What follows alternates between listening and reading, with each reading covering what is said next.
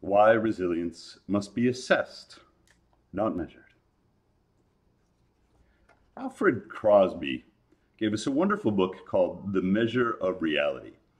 He took a historical look at this period before the Industrial Revolution, in which scientists, beginning in Italy and moving out across Europe, were establishing norms of quantification it's these practices, whether it's double entry bookkeeping or measuring the movement of the planets about the sun, that gave us a realistic view of reality that could produce models that result in reliable predictions of whether it's a lunar eclipse or whether it's uh, something in manufacturing and technology.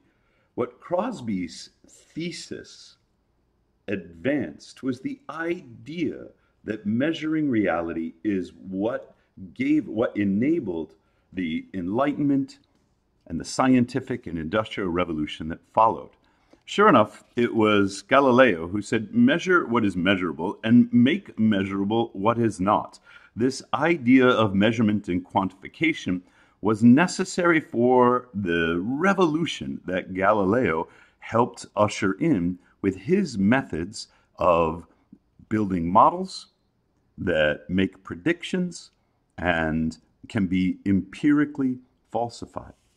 So I'm going to start today with competing epigraphs. Although I don't really know who who gave us these quotes. They're going to represent for us two different views of measurement and quantification. And then I'm going to make the argument why resilience must be assessed described, understood, but not measured. The first of these is familiar to engineers and physical scientists everywhere. What gets measured gets managed. It is the bureaucracies of the Industrial Revolution, the organizations in which we're embedded, whether it's our university or our corporation, that insists upon measurement and management. Certainly, the Six Sigma approach to quality emphasizes measurement. Certainly, the forms that we fill out and the spreadsheets that we trade, they're all about measuring and managing. And there's a good reason for it. Because when we're measuring and managing, we can make things more efficient. It is this efficiency that makes us rich. It is efficiency that allows us to reduce costs, reduce prices, increase the size of the market, capture economies of scale. It is efficiency on which the Industrial Revolution was founded. The other epigraph not everything that matters can be measured, and not everything that can be measured matters. If it is what measured gets managed, but not everything that is worth managing gets measured, then how are we to reconcile our systems of measurement and quantification that would leave out important things? Well, what are some of those important things? Perhaps it's something like culture. Perhaps it's something like creativity. Perhaps it's something like adapt ability. And it is this adaptability that is the critical concept essential to resilience. So we're going to get into adaptability in a little more detail. Whereas it's efficiency that makes us rich, it is adaptability that keeps us alive. And how do we know what our adaptability is? The only way to know is to test it because measurement happens on the spreadsheet when we're working with nouns. Adaptability happens in action when we're working with verbs. There is no adaptability without action. And the difficult thing about verbs is they cannot be counted in the same way that nouns can. It's often said that Charles Darwin gave us the concept. Charles Darwin taught us survival of the fittest. But it turns out that Darwin never said that.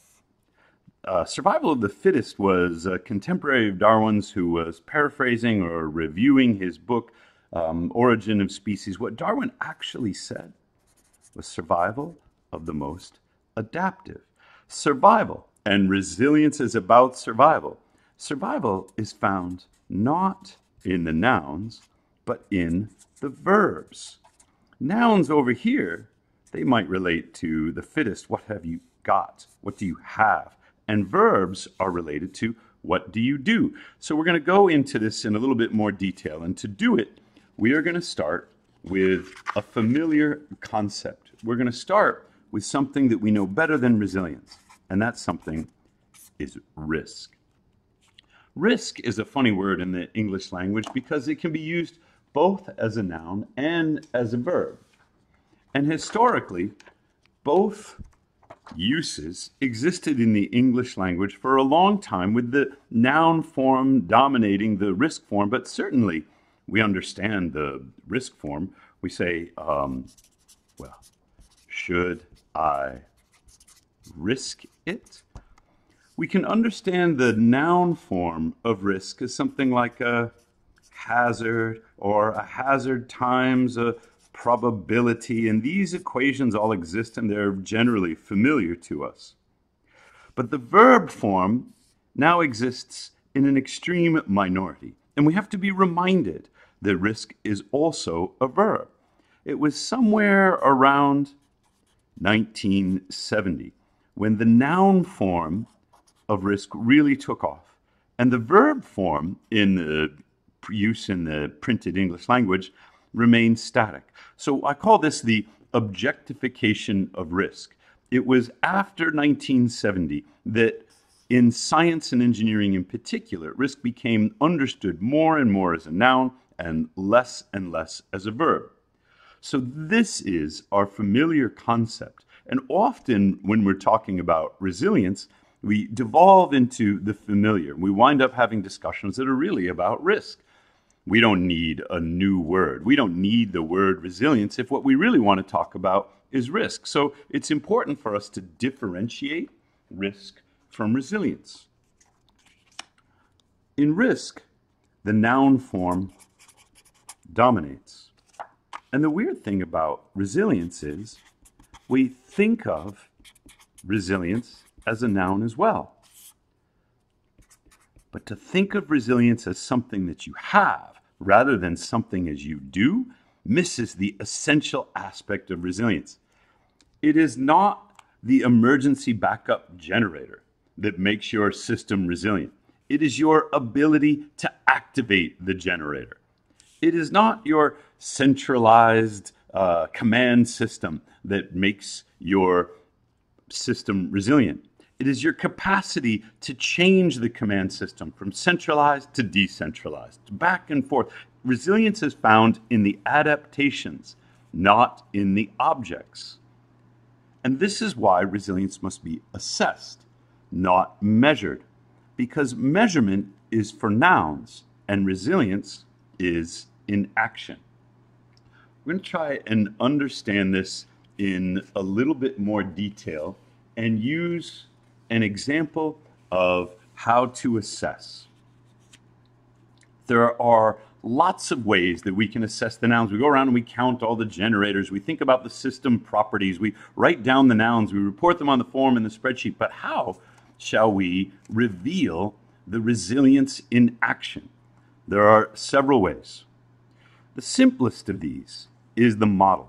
We build a mathematical model of a system. We have all the influences and the causes and effects, and then we strain the model.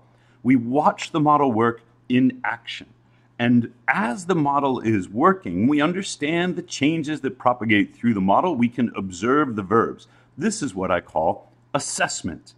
Because we cannot count verbs, we cannot measure them, but we can describe what happens when we observe the verb in action. More complex than a model is a simulation. And you could ask, well, sort of, uh, what's the difference? When the model is working, the model can work independently on the computer, in the spreadsheet, on the calculator. But as we bring in a simulation, we introduce the less predictable human component. There is a difference between the model of the plane and the simulation that includes the pilot. So, when we're training pilots to adapt to surprising situations, we use flight simulators, not just models. Slightly more complex than simulation is a game. And the difference between the simulation and the game is that the game adds a motivational, it adds a, an emotional component. If you remember the movie about Sully who ditched his plane in the Hudson River, when the investigators ran the simulation, sure enough, the pilots in the flight simulator were able to land their crippled plane at Teterboro. But when you add the emotional component, they can't make it to Teterboro because when they um, when they're faced with the real live situation, there is uncertainty and there is delay. There's the fear and anxiety of the consequences of failing to make it to Teterboro. In a game, we add an emotional component that adds this additional layer of complexity. So when we're trying to assess resilience, when we're trying to observe the verbs, so far we have the model, that sort of runs by itself. We have the simulation in which people are interacting with the model, and we have the game in which people have an incentive structure or a motivation or an emotional component that has the additional complexity. Finally, we get to a rehearsal. And a rehearsal, it still could be in the context of the game or the simulation, but the rehearsal typically happens in a live, full scale event. We are going to practice ditching our plane in the Hudson River. We're going to war game it. We're going to have blue versus red, and we're going to use real equipment and real tanks and the real planes. The rehearsal is a larger, more complex scale than the game because it is at a more specific, a less abstract representation of what we're trying to observe. And then finally, there is the event. When the Twin Towers were attacked by hijacked planes. We were no longer at a rehearsal or a game, it was a real event. And we can learn a lot by watching the verbs in action in the real event. But certainly, real events are more complex than rehearsals. Rehearsals more complex than games. Games more complex than simulations. Simulations more complex than models. So complexity goes up as we progress through these different experimental contexts for observing resilience. What about expense? Well, models are cheap compared to simulations. As we go up and to the right, as we make more complex, the expense of the investigation goes up. And it's not just the funding. To do a model, you must develop the model. But to do a simulation or a game, you have to have the participation of the human actors. So not only does the complexity go up, but the investment increases. At the level of the rehearsal, we need the full scale equipment. We've now, we're not just asking people to participate, people are actively engaged. And the difficult thing about the event is not just staging the event, but the consequences of the event, repairing all the damage. The events are often unplanned and so expensive that the consequences exist outside the event itself. And this is why we seek to model, simulate, gamify or, or investigate with games and rehearse so that we can avoid the complexity and the expense and the consequences of the event. There is an important thing to point out about these settings under which we assess resilience rather than measure it. As we move towards the right, towards the more complex, our relationship with surprise and uncertainty evolves. In the model, we have what I would call normal variation. Consider a deck of cards. You're going to draw a card. There are only four suits hearts, spades, diamonds, clubs. It's uncertain, but it's not ambiguous. You know that you will draw one of these suits. You know there are 52 cards, maybe plus a joker in the deck. And the kind of uncertainty that you face is normal variation. But as we move out in complexity, in these contexts in which we're trying to assess the verbs of resilience, we move from normal variation to situational surprise. In situational surprise, we will find the low probability events. Although we recognize them as possible, we didn't know that that they would come up in a certain context because they're so unlikely. These sort of long tail events, we're saying, well, we're surprised. You buy a lottery ticket and you win, that's situational surprise. It's not likely, you weren't predicting that you win, but it happens. In, in the case of winning the lottery, perhaps that's very pleasant. But suppose you won the lottery and you never bought a ticket. That's what we call fundamental surprise. Fundamental pro- surprise happens when we are confronted with situations that we thought were impossible. So, in these different settings in which we want to observe the verbs of resilience in action, at the model in the simulation, we can investigate normal variation, we can investigate situational surprise, but we are unlikely to discover those fundamental surprises that open our eyes, that make us aware of new possibilities we thought never existed. To do that, we must rehearse or experience events because it is in the most complex context in which the fundamental surprise can be revealed. These are the situations, the contexts in which we can observe resilience in action. But it doesn't tell us what to look for. For that, we're going to have to go to my last slide.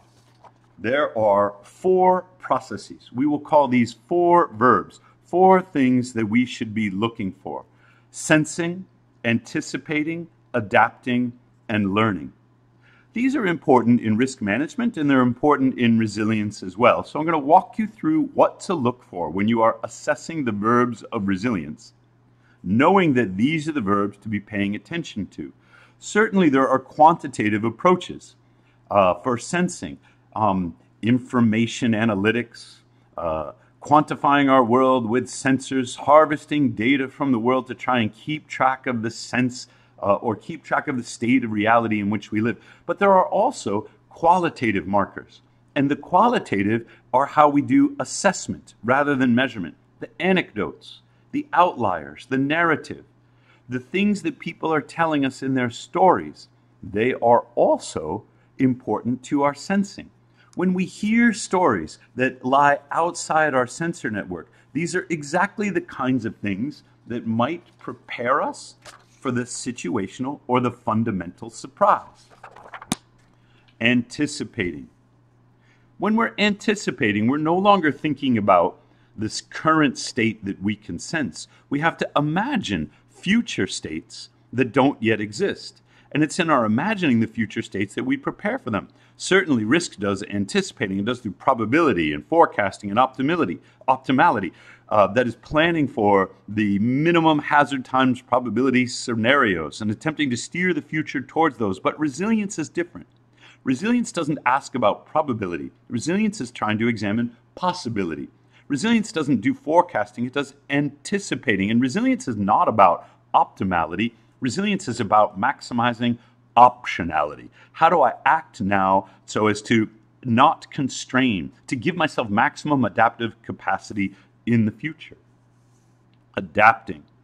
We often think about adapting in the technological sense. Operations research gives us design variables and constraints, and we can move these around in a way that allows our system to adapt. But I'm going to ask you to think about adaptation in this more qualitative sense the organizational. To be resilient, our organization must be able to adapt who has access to what information. We have to change access to information according to the circumstances. We have to change allocation of decision rights, whether they should be centralized or distributed. Resilience is found in neither of these. It is found in the ability to change between them. We have to change our patterns of interaction. It may be that our organization is a hierarchical tree like structure, and what we really need for a certain situation is a web. Well, resilience is neither found in the starfish nor the spider. It is found in our capacity to toggle between the two. And resilience insists that we are able to change our meaning making of the situation. Lastly, there is learning. And there are several different ways that we learn through research, education, training, and development. More complex ways of knowing is the last that I want to emphasize. Because to be resilient, we must expand our way of understanding the world from that which must be measured to that which can be assessed.